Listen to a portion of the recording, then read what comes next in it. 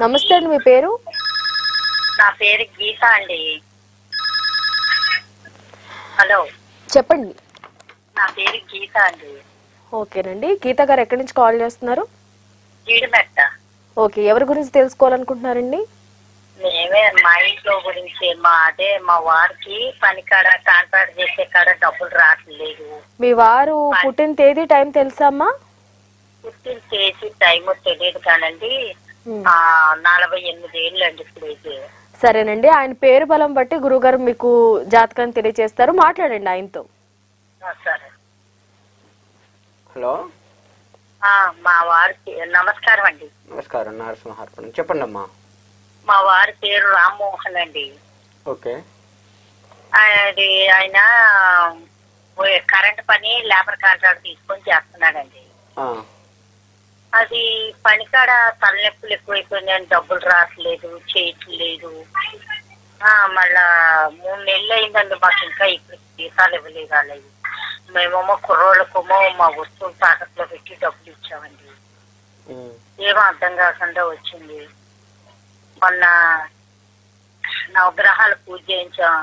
రెండు వారాల నుంచి రాగి చెట్టుకి పాలు పోస్తా తిరుగుతున్నామండి. పోయిన వారం ఈ వారం రాగి చెట్టు చుట్టూ ఈటి జీ తెలుగులో చెప్పారు తిరగమని అలా తిరుగుతున్నామండి. మంచిదమ్మా. అంటే అంటే మీరు అది వ్యక్తిగత జాతకం చూపించుకోలేదు కదండి? ఓహో ఓకే ఓకే. సరే. లేదు మామూలుగా చేస్తున్నాము ఇలాగా. అయితే అమ్మా అలా వారు చెప్పినట్లుగా జీ తెలుగులో పండితులు వారు చెప్పినట్లుగా చేస్తూ ఉండండి. అది మంచిది. దానితో పాటుగా లక్ష్మీదేవి ఆరాధన చేస్తూ ఉండండి. మీకు దగ్గరలో లక్ష్మీదేవి గుడి ఉన్నట్లయితే ఆ. దేవాలయానికి వెళ్ళి ఆ అమ్మవారికి ప్రదక్షిణ నమస్కారాలు చేస్తూ ఉండండి. చేసి మీ మనసులో అది అమ్మవారికి మనస్ఫూర్తిగా చెప్పుకోండి. తప్పకుండా అమ్మవారు అనుగ్రహించే అవకాశం ఉంటుంది. దీనికి మీరు చేస్తున్న రెమెడీ కరెక్టే అందులో సందేహం లేదు. ఆ నవగ్రహ ప్రదక్షిణ చేస్తూ లక్ష్మీదేవి యొక్క ప్రదక్షిణ నమస్కారాలు చేస్తూ ఆ అమ్మవారి దగ్గర ఏదైనా పూజ ఉంటే కుంకుమ పూజలు అలా చేయించుకోవటము లేదు తీర్థప్రసాదం తీసుకొని రావటము చేస్తూ ఉండండి. మీకు తప్పకుండా తొందరలోనే మీకు అంత మంచి జరిగే అవకాశం ఉంటుంది. ఓకే గురుగారు. చెప్పండి అమ్మా హలో. గుడి లేక గుడి లేదండి మా దగ్గర. లక్ష్మీదేవి గుడి లేకపోతే మీకు విష్ణుమూర్తి గుడి ఏదైనా ఉంటుంది కదా?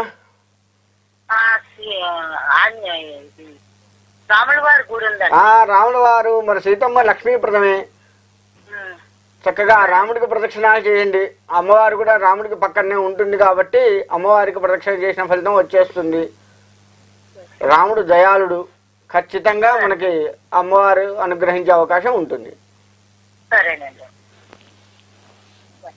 సో విన్నారు కదండి మరి మీరు కూడా ఎటువంటి ప్రాబ్లమ్స్తో ఇబ్బందులు పడుతున్న స్క్రీన్ మీద కనిపిస్తున్న నెంబర్కి అయితే కాల్ చేయండి. గురుగారు ఇప్పుడు మీరు నవగ్రహ ప్రదక్షిణలు చేయాలి అంటున్నారు.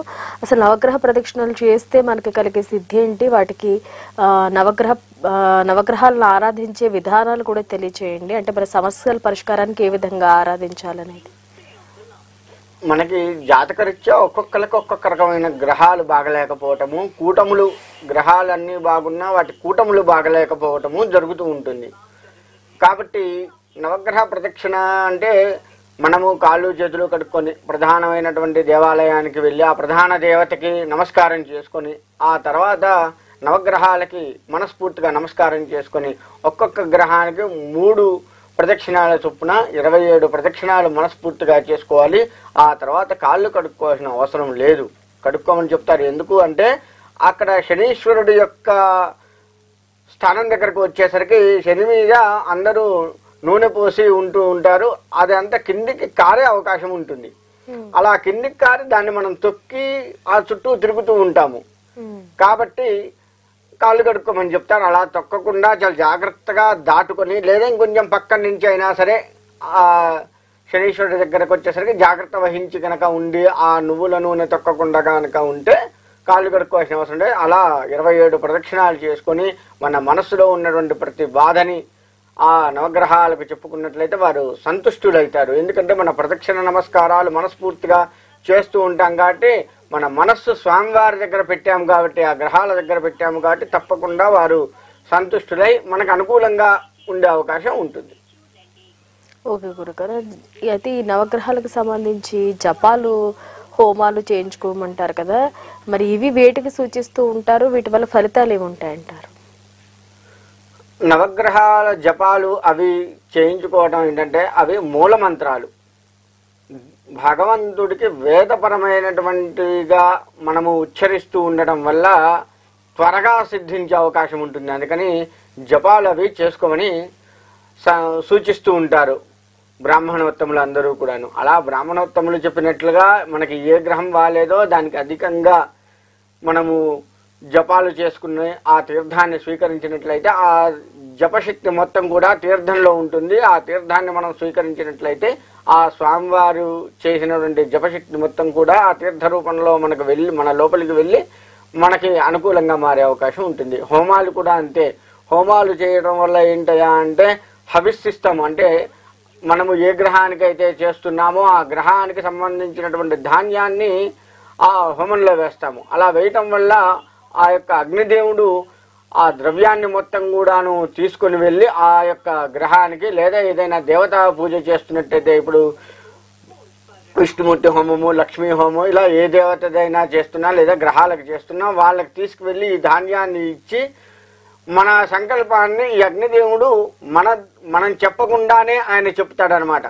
అంటే మనం ముందుగానే సంకల్పం ఇదంతా చెప్పుకుంటాం కదా మన కష్టము. ఇదంతా కూడా అగ్నిదేవుడు విని దాన్ని తీసుకెళ్ళి ఈ సంకల్పంతో ఈ కష్టంతో వీరు చేస్తున్నారు. కాబట్టి నీకు ఈ విధంగా హవిస్సు ఇచ్చారు. ఈ ధాన్యాన్ని నీకు సమర్పించారు. వారిని అనుగ్రహించు అని చెప్పేసి మన బదులు రిక్వెస్ట్ చేస్తారు ఆయన. ఆ రిక్వెస్ట్ చేయటం వల్ల ఆయన అలా చెప్పడం వల్ల ఆయన ఆ గ్రహము లేదా ఆ దేవత సంతుష్టులై మనల్ని అనుగ్రహించే అవకాశం ఎంతైనా ఉంటుంది.